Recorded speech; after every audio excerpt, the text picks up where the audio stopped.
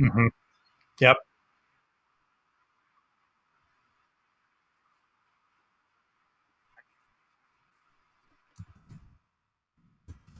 Yes, yeah, that was really cool. Um, especially with the, the phase shifts just cycling so many of those options.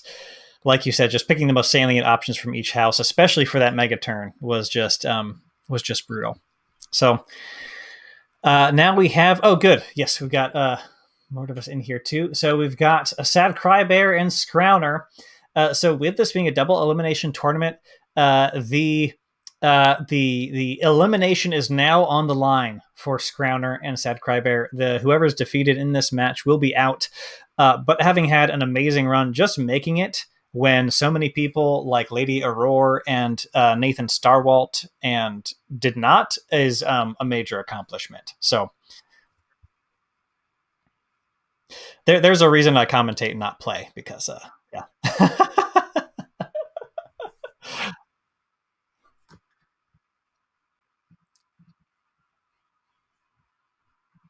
Mm-hmm.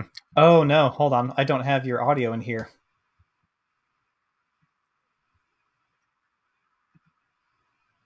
Okay. Can you hear me now? Is this thing on?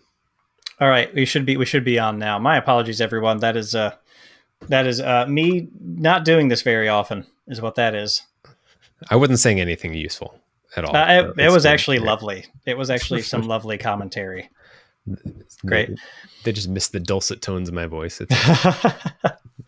uh, so our apologies there, everyone. Uh, uh, but sad cry, no, Scrowner opening with a troll. Troll, the the eight power Brobnar creature, never to be equaled again. Never to be equaled again. Uh, so Scrowner opening. Let's see what Scrowner's running here. We've got uh, Ball Tyranno, Boss Della Galleria.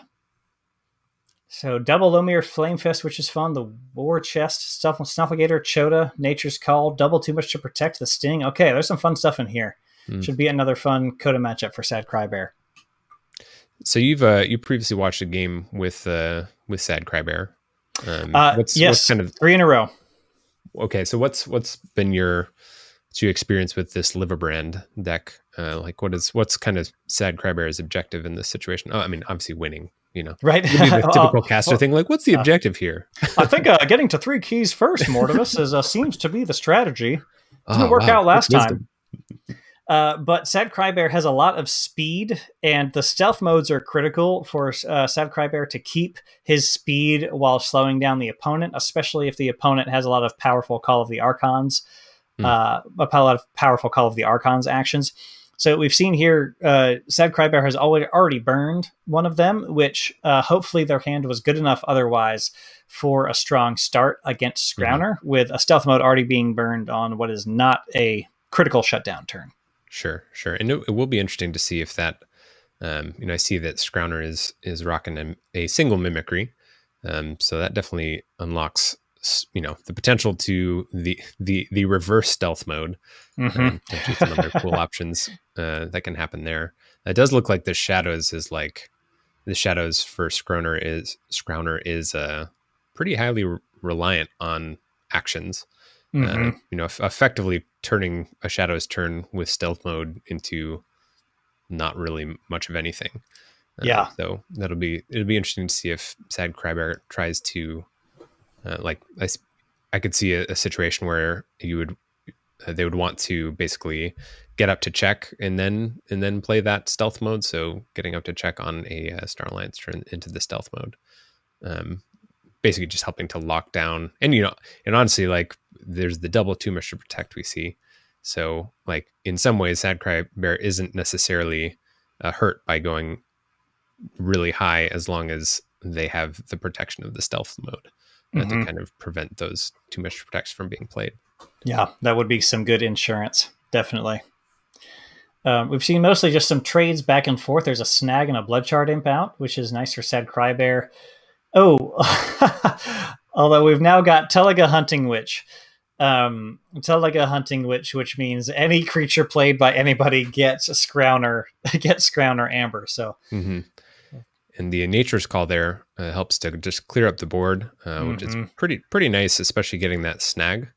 Yeah, uh, getting the snag off the board because that you know is obviously a, a good fighting body with a pretty potent play effect or a, a pretty potent fight effect. Yeah, would have been able to get both of those untamed creatures off the board, but now Sad Crybear uh, really has to find some answers to to that Teliga Hunting Witch situation, mm-hmm. and they don't have anything to fight with. So yeah, that is a, a good move, a good move by Scrowner. This is one of those like feels bad against untamed situations. You're like, hmm, well, it's I don't have any spot removal in my hand. That's mm-hmm. an action. Then I'm mm-hmm. in really, I'm in rough shape. now, uh, I was just checking the bracket, and uh, uh, Scrowner, I think, said, "Go easy on me" in the pregame chat, uh, being quite humble there as Scrowner defeated Jason Bargender of Team Knowledge's Power to get to this match. Mm-hmm. Uh, which is which is no small feat. I'm on record as saying the only reason Jason Bargender doesn't have a Vault Tour a Vault Tour victory is the coronavirus. Oh yeah, yeah. yeah. Sure. um, he's he's very he's very good. He's very good. He was one of the first people uh, trying to solve uh, the the heart of the forest kind of glimmer key charge, mm-hmm. um, kind of griefing you will win unless you have a specific kind of artifact removal deck. So well, I've, I've figured out a pretty good counter to that is a just a campfire. You just kind of pitch those, just pitch the those decks right into the campfire and let them let them go back into nature uh, once they once they came. Sub- subterfuge. Uh, yeah. the good counter is to is to find Jason's home address and move all of the Keyforge decks to a safe location in his yard and then light them on fire. Yeah, yeah, yeah. yeah. it's the only way to ensure that they don't get taken by someone else oh goodness, uh, sad crybear. Let's see, Scrowner. Um, okay, so sad crybear uh, using all that time to consider, of course, as they are in the quite the pickle. So the second stealth mode comes down. First officer Frayne, Teliga. Uh, so first officer Frayne, both of those. Uh, first officer Frayne capturing. Um, so Scrowner up to five amber. Uh, five amber off of that medic Ingram, medic Ingram warding herself. Uh, and that that is the play for Sad Crybear, getting some creatures onto the board enough to clear the Teliga and Hunting Witch next turn. Yeah, and we yeah with the stealth mode down, we'll see what that see what that does. Like like I said, definitely hurts hurts a Shadow's turn, but you know it doesn't look like Brobnar cares that much. Mm-hmm. Um, and you know depending on it seems like Untamed is mostly uh, mostly uh, I, yeah, I was gonna say that mostly creatures, but that's not the case. There are creatures in in a couple actions in there, but we've of course also already seen the nature's call. Mm-hmm. I feel mm-hmm. like uh, this is a bit of an opening for for Scrowner to just kind of flood the board. You know, just mm-hmm. throw a bunch of Brobnar stuff down. Lomir could potentially get some uh, do some value, get some value here fighting into like first officer Frayne, but we'll see if see if that's what happens. It does look like we're going to get a Brobnar turn though. Yes, we are. Yeah, that Lomir does have the skirmish from Way of the Wolf, which is great. Yeah, taking out taking out the first officer Frayne, a good move there. A good move there. Uh, and another troll, love it. the trolls. Yeah, so that's a check for Scrowner, check for the first key here. Uh, that hunting witch and Teliga still alive. Sad Crybear has a choice here. They either uh, hopefully, there are other Star Alliance cards in Sad Crybear's hand so that they could have a bit of a turn. Uh, or their only choice is to medic Ingram into one or the other. You uh-huh, know, uh-huh.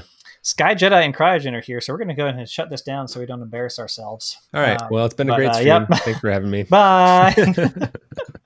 hey guys, glad to have you here. Uh, I'm glad you came after the audio issues resulting from Zach running his own stream. Very, very grateful that I get to hop on cryos. Uh, Sad Crybear saying he's just handing out amber to those creatures. Yep. Okay, so he's got a disc turn here, so he's going to have to bite the bullet. He's going to have to bite the bullet here and and see, probably play out some creatures and see what he can do once he gets some creatures out. Bornet's Touch reveals cooperative hunting remove too much to protect Snufflegator and Umbra. Hmm. Purging the Murmook. Purging the Murmook. Not planning on, uh, having seen this deck in the past few games, I don't think Sad Crybear uh, plans on bursting any more than usual. Sometimes there's an option to reap up to, you know, eight or nine. But, um, so I don't think that too much to protect is really much uh, too scary. Exhume for Information Officer Gray, revealing and uh, archiving Quant. playing Snag, Teliga just having an absolute field day, Blood Shard Imp getting Oh, yeah. discarded. Teliga's just picking up the uh, the Ember vacuum right now. Mm-hmm. Turned it on, just hoovering up some some Ember over there. Mm-hmm. She is she is earning her keep. She is earning her keep. That whole board is really Lomir, Lomir with skirmish troll just being troll, and then uh, both of the wishes. This is a, a good situation for Scrowner. Uh, Mhm. Sad Sad Crybear does have uh, does have the Harbinger of Doom, uh, Gleeful Mayhem combo. I think we've seen we've seen one Gleeful Mayhem already. So Yeah, I mean, honestly, even even a single gleeful mayhem in this in this situation would help pretty pretty substantially. mhm. Just clearing off that Teliga, open up opening up the uh, the way to just you know like actual actually play creatures without giving your opponent getting your opponent to, to their win con. Um, you, know, you know, we haven't seen haven't seen a Shadows turn yet. Um, so where we're at a couple Brobnar turns and an Untamed turn from Scrowner. Um, gotta gotta be thinking that's going to be coming soon. hmm Um, I do see that this deck does also have the Sting. I imagine at this point we're maybe a little bit beyond that. Um, Well, the the first key hasn't been forged yet, and well, Scrowner already has one key, and Sad Crybear hasn't forged it all. So if Scrowner is seeing or holding, or there's double hidden stash, so they could also archive the Chota, and uh, I, I think we could still see the Sting in this Mhm. case. I mhm. think I think we could because Scrowner's almost to the second key. Um, especially if Scrowner gets that second key before Sad Crybear gets the first, then I think the Sting into Chota is the play. If uh, if Scrowner's confident they'll see the Chota. Oh, we do interesting mimicry to copy the Gleeful Mayhem. Okay, which is going to hit one of the untamed creatures, which is a little sad, but And It there's no, no no regrowth or anything, so it's not Yeah. back that way. Took Oh, out Snag vigor. and Information Officer Gray. Okay, check at eight for Scrowner.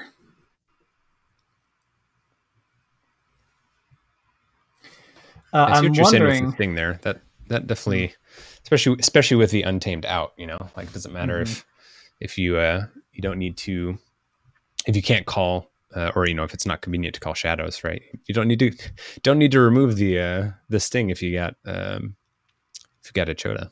Right, You want to pop a exactly. especially if Scrowner, uh, which I assume Scrowner will be able to get this key because Sad Crybear, uh, yeah, Sad Crybear. Exact. This is exactly what I was thinking. Sad Crybear saying this is a perfect description of how I'd like this game not to go. That's really true because Sad Crybear doesn't have a ton of amber control. They rely a lot on their speed, and then just enough control with uh, the stealth modes. And it's double cutthroat research and an infernus, which are most of which are most of the amber control. Yeah, so, So- it, it can't get on board with the speed. It it's kind of it's kind of got it's one of those decks that just kind of has to play its game Mm-hmm. because it has you know somewhat limited options in terms of uh, preventing. Well, I mean, there's there's uh, it's more of disruption, not ember ember control, right? You know, with the, Mhm. the stealth modes, that's there's some pretty solid disruption disruption there, uh, paired with the speed that Sad Crybear is probably trying trying to achieve, but doesn't look like it's lined up Mm-hmm. especially when a lot of that speed, um, you know, with the uh, is it the double information officer gray, uh, does require basically creatures to be played uh, to to kind of get that engine going. hmm Yeah, and Scrowner with just that that double that double threat of of the hunting witch and Teliga out for so long. Buzzle finally taking out the Teliga after um, a awfully large amount of amber coming off of that Teliga. Sad Crybear just did not have the tools on hand. Didn't see the second Gleeful Mayhem. Uh, spent the first one, which probably gave Sa- you know Scrowner the confidence to get that double play out there and see how much value they could get off of it, and they got a lot. They got a lot. the uh, sad thing about that interaction we just we just saw there, uh, Sad Crybear had to play out Buzzle, uh, or had to play out Harbinger and Buzzle.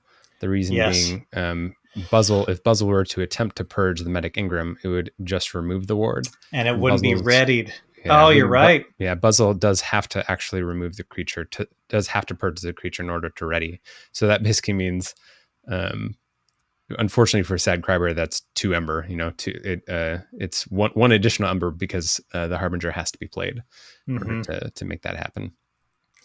Yeah, uh, Scrowner getting right up to check here, taking Sad Crybear off check with a bait and switch. Bait and switch into Booby Trap, Relentless Whispers. Check at eight for the final key, which I I, think is game. hmm I think that is game for Sad Crybear. Oh, we do have, uh, yeah, I guess cutthroat, but need some type of uh, taxing on top of that. So Mm-hmm. seems like that's probably going to be probably probably be where things end up. Yep. Yeah. Playing it out, playing it out with the Code Monkey. We, we have seen a couple sweet Code Monkey plays and other things from Sad Cry Bear here, which was awesome. Yep. There, there's the logo board Sad Cry Bear needed before Teliga dropped. Uh, that that is what a Sad cry bear winning this match looks like if that if this logo board came out before Teliga dropped. Uh, but that is the match. Scrowner has taken it and will continue on in the. Uh, I don't like saying losers bracket, and uh, in the spirit of Keyforge, we started calling it the Bomb Bomb bracket the bomb bomb bracket. on the Glorious You. Um, so uh, that is uh, Scrowner, the Martian of Generosity, will continue in the Bomb Bomb bracket here. Sad Crybear, uh, Sad Crybear, uh, having a great showing, a great showing for uh, the More Wolves. The More Wolves here. Indeed, indeed. Uh, you know, in, in some ways, it kind of feel like you, you hate to see a, a game be a little one sided like that. But you know, I think it's a great example of, and, and interestingly enough, S- playing a Coda Coda deck, um, great example of uh, if you don't have the removal that you need, um, how something as simple as a three power, a single three Mhm. power creature can really, really kind of uh, put a wrench in your game plan. Yeah. So it, it looks like Scrowner will be going on to face not tonight, uh, which is great. Um, I believe. Uh, let me check here. Might have to coordinate with. Um, let's see. Losers round three of Group B. So I believe. Yeah,